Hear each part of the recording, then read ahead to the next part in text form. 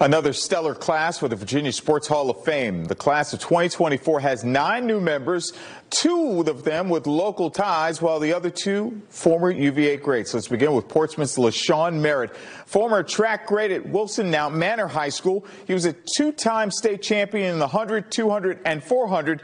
He would go on to be a three-time Olympian that included three gold medals and was an eight-time world champion. Now, in the world of soccer, there's Jill Ellis. She played at William and Mary, but is best known as the head coach of the U.S. women's national team that won back-to-back World Cup titles in 2015 and 2019. Now, as far as college football, or football in general, there's also Chris Long, former defensive force at the University of Virginia.